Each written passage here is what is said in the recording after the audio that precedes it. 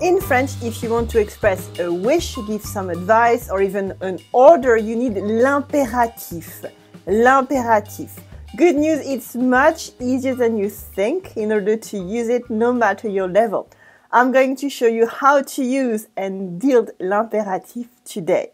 This is what you will be able to do after watching this lesson. If you're a beginner, know what l'impératif is for and how to build it in general. If you're intermediate, avoid the biggest mistake with l'impératif. Well, it's the S and use être et avoir as well. If you're advanced, master les verbes pronominaux as well. Master les verbes pronominaux. As usual, you can download the full written lesson on commeunefrancaise.com. There you can get the PDF for free in exchange for your first name and email, so I can actually give it to you. You can print it, save it for later, share it with your friends, take notes. It's really up to you and it is completely free. Also, if you're watching this lesson on YouTube, don't miss out on my 10 day everyday French crash course. Again, it's a completely free 10 day mini course to sound French, even to the French, but it's only available on commeunefrancaise.com. Bonjour, c'est Géraldine, bienvenue sur Comme une Française. Allez, c'est parti!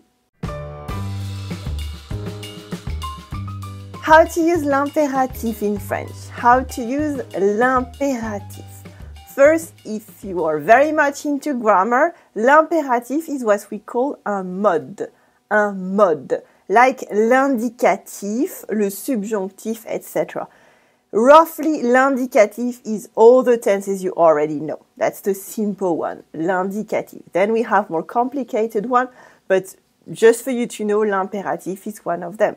Then in this mode called l'impératif, we have two tenses. We have le présent, le présent, which is what we're going to see today, and le passé, le passé, which is almost never used, so don't think about it too much. And we're not going to cover this at all today. We're only going to cover l'impératif présent. So, l'impératif is used for many things, as we saw in the introduction. It's used for an order. For example, mange tes carottes, mange tes carottes, eat your carrots for an order. An advice as well. For example, soyez prudent en traversant la route. Soyez prudent en traversant la route. Be careful when you cross the road. A prayer as well. Priez pour nous, Dieu de l'univers. Priez pour nous, Dieu de l'univers. Pray for us, God of the universe. You can use this for a recommendation in the near future as well. For example, lavez-vous les mains la prochaine fois. Lavez-vous les mains la prochaine fois. Wash your hands the next time. And it can also be as a ban. For example, ne dis pas de gros mots. Ne dis pas de gros mots. Don't swear. Don't say bad words. Ne dis pas de gros mots. Now that we saw the uses of l'impératif, how do we build it? Well, there are three things to know about l'impératif to build it properly. First, there is no pronoun. For example, if you look at the example from before, in le présent de l'indicatif, which is a normal present, le présent de l'indicatif, we should say, tu ne dis pas de gros mots. Tu ne dis pas de gros mots. You don't say bad words. But in l'impératif, when it's an order, we say ne dis pas de gros mots. Ne dis pas de gros mots. Don't say bad words. Well, it's an order and a ban at the same time, but you see my point. So l'indicatif has this tu, but l'impératif doesn't have it. That's the simplest way for you to know how to build that. The second thing to know about l'impératif is that there are only three personnes. We have tu, that we just saw before, tu, as in ne dis pas de gros mots. We have nous for we, nous, and we have vous, vous. The vous here can be singular, as in a polite you, or it can be plural, as in you're talking to several people. And the third rule is that the conjugation is very, very, very, very close to le présent de l'indicatif. It's super close. So if you're a beginner and you just remember that, that's good enough and you're ready to go. Let's take an example. Let's try with finir. Finir means to end in French. Finir. For example, in le présent de l'indicatif, we say tu finis. Then in présent de l'impératif, l'impératif, we say fini. As you can see, you just remove the pronoun and you're done. Nous finissons for le présent de l'indicatif. In l'impératif is finissons. Again, you just remove the pronoun. And at last, now you know, vous finissez, vous finissez becomes finissez. You just have to remove the pronoun. You're done. As you can see here, finir is a verb we use a lot and it's super simple to build. So you know almost everything now.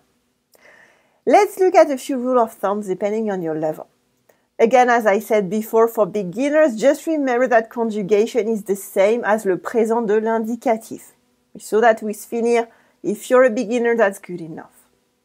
If you're intermediate though, it's the same except for la deuxième personne du singulier, which is you, which is tu in French, pour les verbes du premier groupe, plus a couple of other verbs.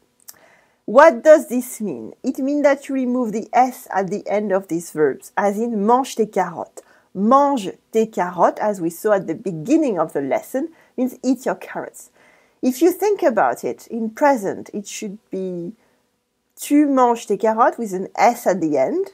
And if we just remove the pronoun, it should be mange tes carottes with an S.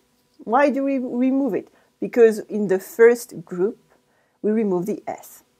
But again, it's okay if you make the mistake, and it's okay if you don't remember it, because when you say it, it's exactly the same. But if you're into grammar, you have to know that. This applies to other verbs as well, which are exceptions, but I'm not going to cover that today because there are lots of them. And it's okay if you don't remember that. Just check in your Bescherelle, for example.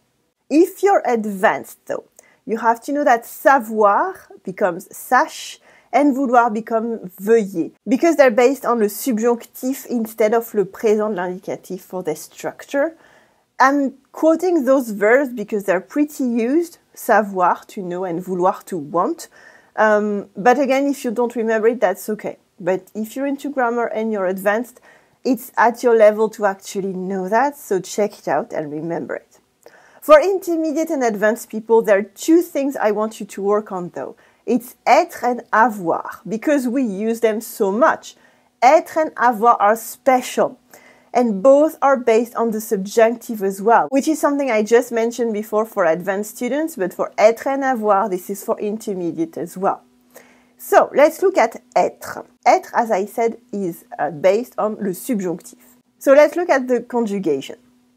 Être in le présent de l'indicatif is tu es, nous sommes, vous êtes. You already know that. Tu es, nous sommes, vous êtes. In le subjonctif, it's que tu sois, que nous soyons, que vous soyez. That's le subjonctif. As I said, the imperative is based on le subjonctif, so you just remove the beginning and it becomes soit, soyons, soyez.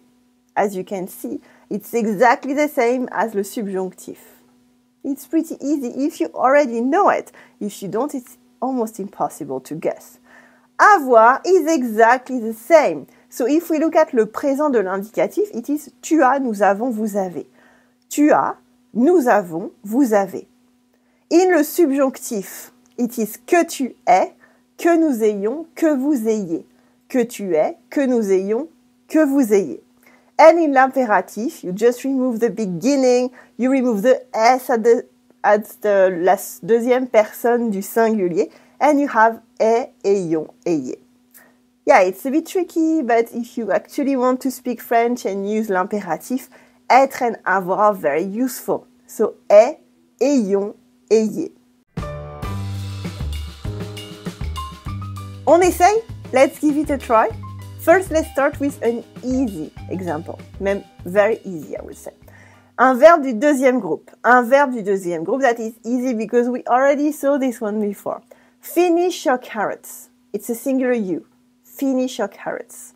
If you don't know how to say finish in French, we say finir, finir. Remember we saw this verb before. Let's look at how we build l'impératif in French. Remember we take le présent de l'indicatif, so that's tu finis here, tu finis with a singular you. And then we build it into le présent de l'impératif. We remove the pronoun and it makes fini, fini. So, finish your carrots is fini tes carottes. Fini tes carottes. Literally, eat all your carrots. Fini tes carottes. It's exactly the same as le présent de l'indicatif, the normal simple present. Exactly the same. That's why it was an easy example. Now let's take un verbe du troisième groupe. Again, this one is pretty easy.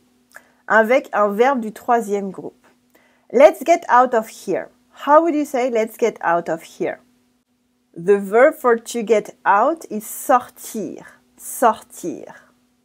So, did you find it? How do we build le présent de l'impératif? We build it using l'indicatif. So, présent de l'indicatif is nous sortons. Nous sortons. Le présent de l'impératif, we just remove the pronoun and it makes sortons. Sortons. So, let's get out of here is sortons d'ici. Sortons d'ici. It is exactly the same as the normal present you already know. Ready for a bit more of a challenge? Let's take un verbe du premier groupe. Un verbe du premier groupe that's intermédiaire. It's not very, very difficult, but remember what we said before. How would you say buy four croissants at the bakery? In singular. How would you say buy four croissants at the bakery? The verb for to buy is acheter. Acheter in French. So think about it. Remember what I told you about les verbes du premier groupe? It's about an S thing. Le présent de l'indicatif is tu achètes. Tu achètes. Le présent de l'impératif, how do we do? We remove the pronoun. So it makes achète. And because it's un verbe du premier groupe, we remove the S. So it's achète without the S. Achète. So Buy four croissants at the bakery is achète quatre croissants à la boulangerie. Achète quatre croissants à la boulangerie. Remember, you have to remove the S of the indicative form. Let's test yourself with one last example that is a little bit difficult, but is a fun challenge. That's un verbe pronominal. Un verbe pronominal, as you might know, is with a se. For example, se laver, to wash yourself. So, how would you say get out of bed earlier tomorrow morning? Get out of bed earlier tomorrow morning. Again, for a singular you. The verb to say get out of bed is se lever. Se lever, and se lever is un verbe pronominal. So, how would you say that? Think about le présent de l'indicatif and make it into an impératif. Le présent de l'indicatif here for se lever is tu te lèves. Tu te lèves, you're getting up tu te lèves. Le présent de l'impératif, we remove the tu at the beginning, but the te has to stay. But there is an inversion with the verb, so it becomes lève-toi. Lève-toi. Lève-toi is the imperative for se lever. Yes. Did you get this one? So, get out of bed earlier tomorrow morning is lève-toi plus tôt demain matin lève-toi plus tôt demain matin. And as you can see, again, it is the verb of le premier groupe. So we, we remove the S at the end of se lever. Tu te lèves with an S, lève-toi without it. Did you get those? Et toi, it's time to test yourself. Écris une phrase en français avec un impératif. Écris une phrase en français avec un impératif dans les commentaires. I want to hear from you, especially on commeunefrancaise.com. I read all the comments and it's a good opportunity for you to test yourself. For example, manger des légumes, c'est bon pour la santé. Manger des légumes, c'est bon pour la santé. Eat vegetables, it's good for your health. If you learned something about l'impératif today or you just discovered it completely, please share this lesson with a francophile friend. If you're watching this on YouTube, you can put a thumb up if you want. You can also subscribe to the channel to avoid missing any lesson. You can also share this lesson on Facebook, Twitter, by email, by telling your friends about it, and even better, telling your French class about it. Maybe other students will be happy to learn more about l'impératif in French. If you want more spoken French, don't miss my 10 day everyday French crash course. It's a free 10 day mini course by email. You can subscribe on commeunefrancaise.com by leaving your first name and email and you will get lesson one immediately. and it's free. I think I said that already. You can subscribe, and unsubscribe anytime, but students seem to like it very much. I wish you une bonne journée, une bonne soirée, or maybe une bonne nuit if you're going to bed, and I will see you next time. Allez, salut!